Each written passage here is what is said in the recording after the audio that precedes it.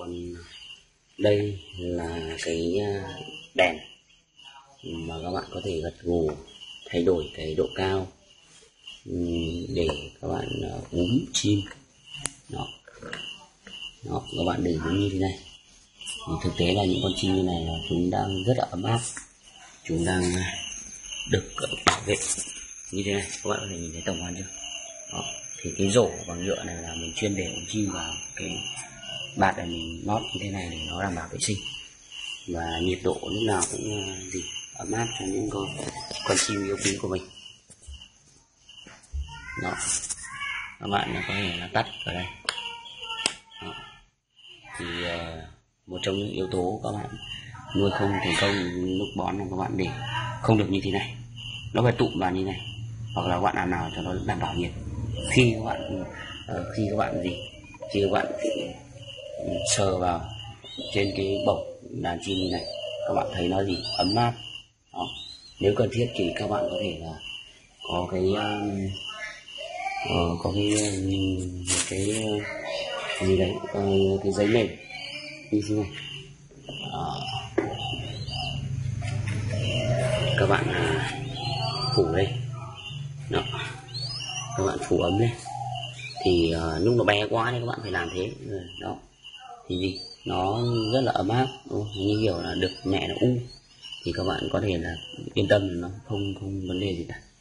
Đó.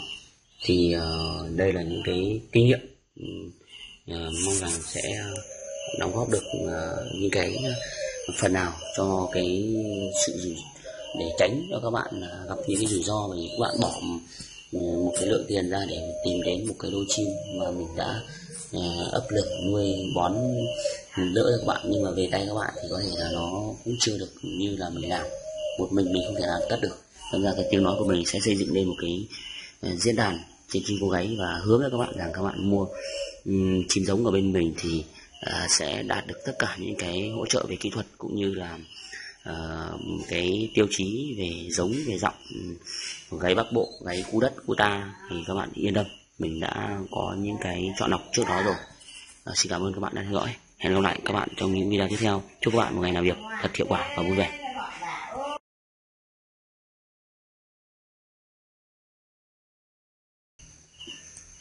Ok. Uh, xin chào các bạn. Uh, hôm uh, mình cũng uh, xin uh, uh, hôm nay mình sẽ uh, lên tiếng một lần nữa để cho cái chủ đề nuôi ừ, chim non và bón chim non bộ làm sao cho được uh, hoàn thiện hơn. Thì uh, kính thưa các bạn là hôm uh, mấy clip trước đó, thì mình uh, có làm nhưng mà qua quá trình mình bán ra thị trường uh, với những cái um, đôi chim non và cũng có những người lĩnh ngộ được và hiểu được cái hướng dẫn của mình à, và đã nuôi đến lúc biết mổ và chụp ảnh gửi lại qua zalo facebook của mình thì mình cảm thấy rất là vui nhưng ngược trở lại cũng có một số ờ, anh em mà thực sự là nuôi thì thực ra là cũng có những ờ, cái chưa nắm bắt được hết và có những cái sơ suất mà thật là đáng tiếc. Thì ờ, uh, hôm nay mình sẽ uh, trên cái tinh thần đó mình sẽ hướng dẫn thêm uh, cụ thể hơn uh, và một số cái bí quyết nó có thể là mang lại cái sự uh, chắc chắn để cho mình bón thành một uh, đôi chim nó uh, sẽ ờ, lớn và biết mổ trưởng thành. Thì uh, ở đây thì các bạn có thể thấy là gì? Mình uh, pha rất là loãng. Các bạn uh, có thể nhìn kỹ ở đây. Đó. Pha rất là loãng. Và đặc biệt là các bạn thấy đâu? Pha là bằng nước ấm. Đó nó loãng như thế này. Thế thì các bạn hiểu phải một trong những yếu tố quan trọng nhất để mà chim non nó không à, bị sơ, xuất suất. Thứ nhất là các bạn pha loãng. Uhm, tại sao pha loãng? Bởi vì các bạn nếu như bạn nuôi à, để ý bố mẹ nuôi chim non thì các bạn có thể biết là ở cái mà trong thời đàn nó nuôi con á thì cái máng uống nước mà cạn rất nhanh. Bởi vì chúng à, cần đến cái lượng nước rất nhiều à, chim mẹ sẽ phải uống và Ờ, để cho con ờ, bón nước cho con. Thì cái lượng nước thường là theo cái tỷ lệ thức ăn nó phải gần như là bằng 2 phần 2 phần 2 phần 2 phần 3 đấy, thì con chim nó mới bóng bẩy được. Thế thì vì sao chính vì vậy là các bạn không nên cho ăn riêng, cho uống riêng mà các bạn pha càng loãng thì thứ nhất là các bạn càng dễ bón mà các chim không phải uống uống nước riêng. Đấy, cái cái thứ hai là các bạn, nếu như các bạn có một đôi, hai con như thế này thì các bạn ờ, để nó nằm rất là gì? Rất là cô đơn đúng không? Bản thân một con chim non khi vừa nó tách ổ nó cô đơn thì trống trải. Thì từ cái tâm tưởng thì trí não của nó nó cũng đã là buồn giàu các thứ rồi. Thì các bạn lên uh, uh, nếu như là có, có một một hai ba đôi như thế này thì chúng sẽ gì? Chúng sẽ quây quần chúng sẽ tụng tụng vào như thế này. Thì đây cũng là một cái những cái lợi thế của mình. Bởi vì này gì? Chúng sẽ tụng vào nhau và chúng sẽ sưởi ấm cho nhau bằng cái việc nằm sát bên nhau. Nên nếu các bạn có một, hai con thì các bạn nên để sâu hụt xuống một cái ấm ủ hoặc một cái hộp giấy. Làm sao nó chìm xuống dưới. Và gì khi các bạn cho ăn xong thì các bạn đậy một cái giấy mềm lên à, thắp bóng sưởi. Thế thì chính vì thế là nó có cảm giác như là gì? Như thế này này. Có cảm giác là mẹ u và mình nhiệt nó không bị mất. Thì một trong những cái yếu tố mà để lạnh chim mà để lạnh bụng cũng những dẫn đến là gì ờ, đi ỉa và gì. Ừ, nó sẽ chết con chim non đấy là như vậy. Cái thứ hai cái lỗi tiếp theo mà các bạn gặp phải là các bạn không huấn luyện được con chim nó à, ví dụ như thế này. Đấy đấy đấy các bạn nhìn thấy chưa? Rõ ràng là những con chim này là mình đưa tay vào vừa bắt xuống ổ hôm qua nhưng hôm nay mình đã huấn luyện. Nó nó nó có cái sự ảnh hưởng theo cái kiểu là nhau theo nhau nếu như một hai con nó sẽ gì? Nó sẽ phải mất vài ngày nó mới theo người mà nó tớp mỏ như thế này.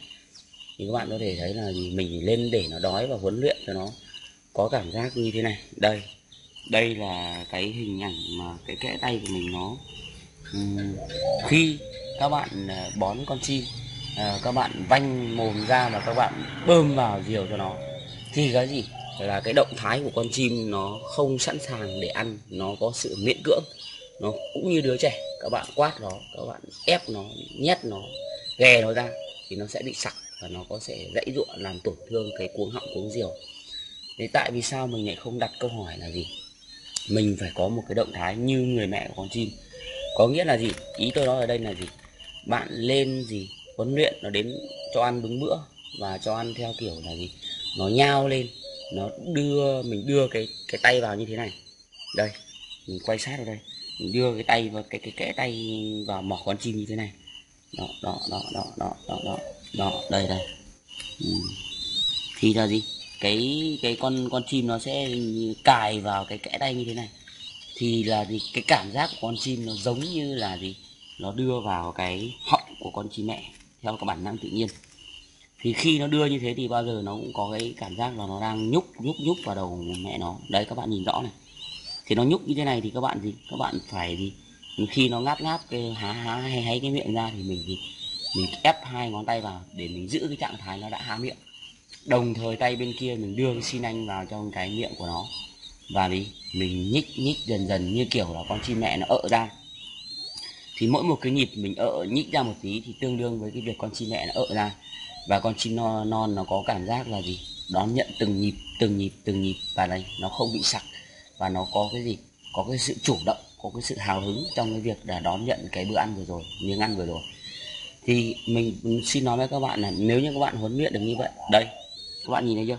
Rõ ràng hai cái mỏ con chim ở hai đầu, nó gì? Ừ, nó đây, nó nhao lên như thế này. Thì đây là cái hình ảnh mà mình quan sát, con chim mẹ nó bón. Con chim non và con chim non lúc nào nó cũng nhao lên như thế này. Các bạn đã thấy hai con hai đầu nó nhao lên mà nó giữ nguyên mỏ ở cái kẽ tay của mình như thế này. Thì chính tỏ là gì? Là mình đã làm cái việc thay thế con con chim mẹ nó theo một cách bản năng tự nhiên.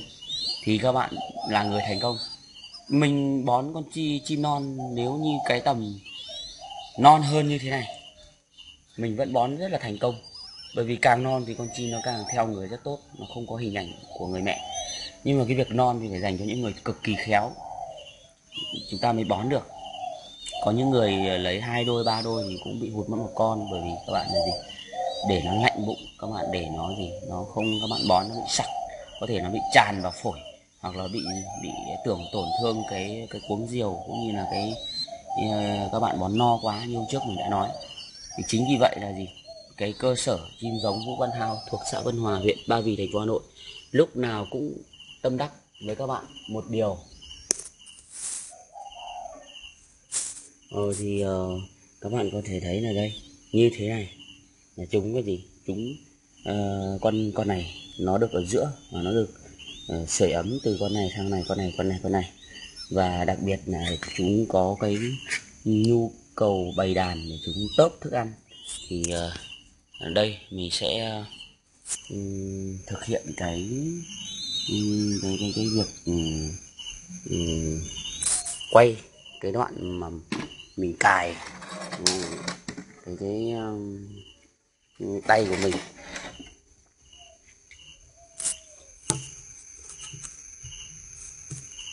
Các bạn nhìn rõ chưa? Ok.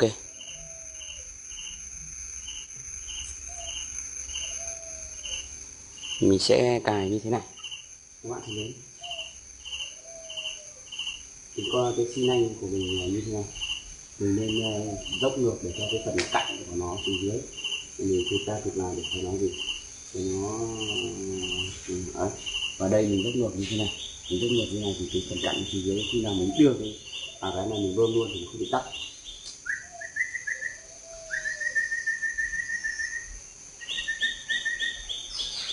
Mình sẽ có cái âm thanh riêng biệt để đánh thức bữa ăn cho chúng đó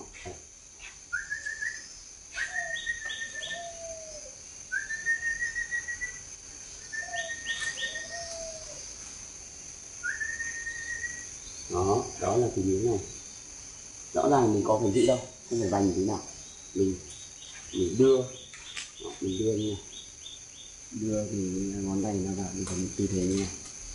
Đó. thì con chim há mồm ra. Con chim há mồm ra thì mình sẽ mình sẽ chặt hai ngón tay chặt lại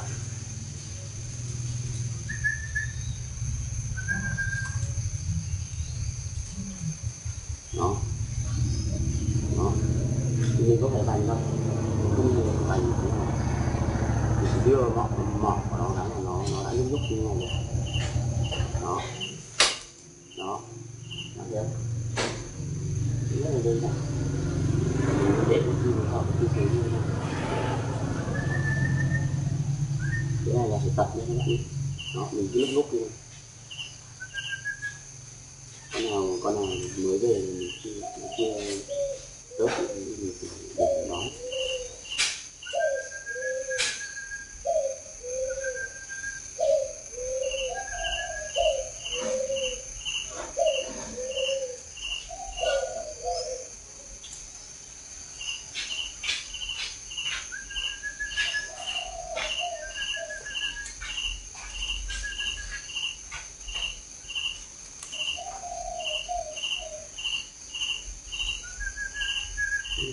cực nhiều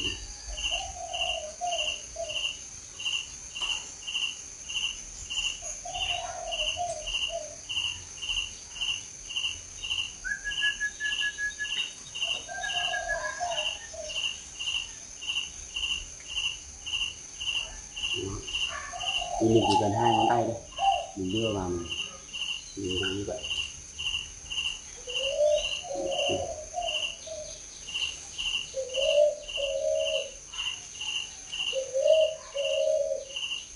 Đó. Đấy không con nào bị ướt mỏ, không con nào bị ướt đầu không con nào phải dãy gì được cái tư thế đứng cái chân nó đang phải ngoi đầu lên để ngát ngát cái chết thức ăn thì đấy là cái tư thế đúng như con chim mẹ là luôn các bạn nên kiểm tra nhiều từng con một con nào mà bón rồi thì các bạn không ờ, bón nữa. Bởi vì có những con là gì nó đã được bón rồi nhưng mà nó vẫn cứ làm các bạn bón hai lần nó sẽ bị bị bị no quá nó quá và nó bị vỡ nhiều Đó. thì đây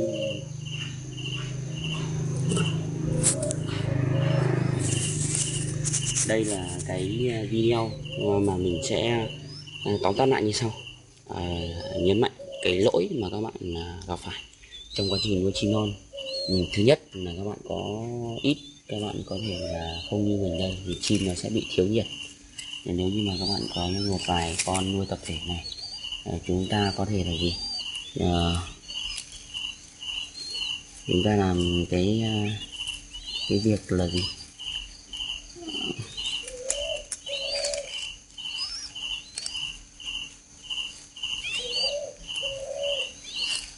Đó thì mình đây là mình đánh dấu đánh dấu chân. Đó đánh dấu chân. Đó, đánh dấu chân đó thì con này với con này nó thành một đôi. Đó thì hai con non này nó sẽ là thành một đôi và hai con này nó sẽ thành một đôi. Đó, thì đấy là cái cách mình ừ, nuôi mình phân biệt như thế này. Thế thì lỗi của các bạn là các bạn à, hay để nó lạnh ừ, chướng nhiều hoặc là các bạn bón không đúng cách hoặc là các bạn để nó thiếu nhiệt thì uh, nhấn đi nhấn lại thì các bạn phải lưu ý cái cách pha và bón theo cái kiểu kẹp bằng à, kẹp bằng bằng như thế này. Kẹp như thế này. Các bạn phải hình dung là kẹp cái mỏ như thế này. Đó, và nó nó hé cái miệng ra thì thì các bạn là bón. Đó đấy đó đây đây. Kẹp mình mô tả kẹp đúng như này. Thì con chim nó sẽ tớp tớp rúc rúc lên. Đó, đó. mình quay nghiêng ngay tí này đây là nó lo rồi nó không tớp nữa. Nhưng mà nếu mà trở thành bữa thì thói quen đấy. Vào nơi các bạn đưa tay này cái này đưa tay này đưa tay này cái con chim nó sẽ gì? Nó nhao lên nó tranh nhau nó đua nhau nó ganh nhau nó tranh nhau miếng mồi từ con mẹ. Nhưng mà thiên nhiên vậy con chim mẹ về đến cửa tổ cái là bao nhiêu con chim là ừ, ngoi lên. Nên các bạn nót ổ bằng cái ừ, theo cái kiểu như thế này. Thì khi nó đi, đi phân ra thì nó sẽ gì? Nọt xuống dưới nó không bị uh, ốt ép mà nó không bị ướt cái ừ, gầm bụng con chim. Đó, các bạn sờ vào con chim trong quá trình nuôi con chim nào mà nó ấm nóng gian lên thì đấy là tốt. Còn con chim nào mà dù dù mà lạnh thì các bạn phải sửa ấm cho nó.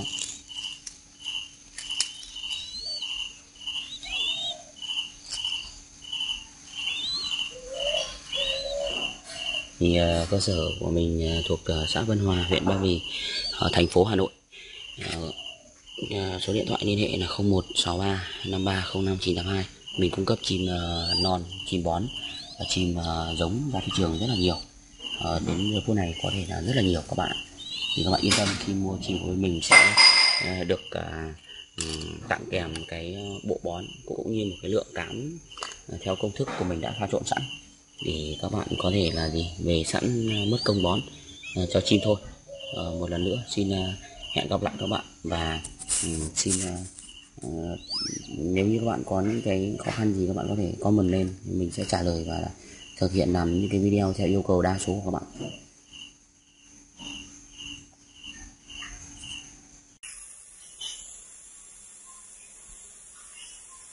Ờ, các bạn có thể thấy ờ, đây là mô hình tổng quan của trại chim cu gáy Vũ Văn Thao 0163 5305 982 à, quý vị có thể à, liên hệ để đặt được những con chim ưng ý từ chim giống đến chim à, sinh sản.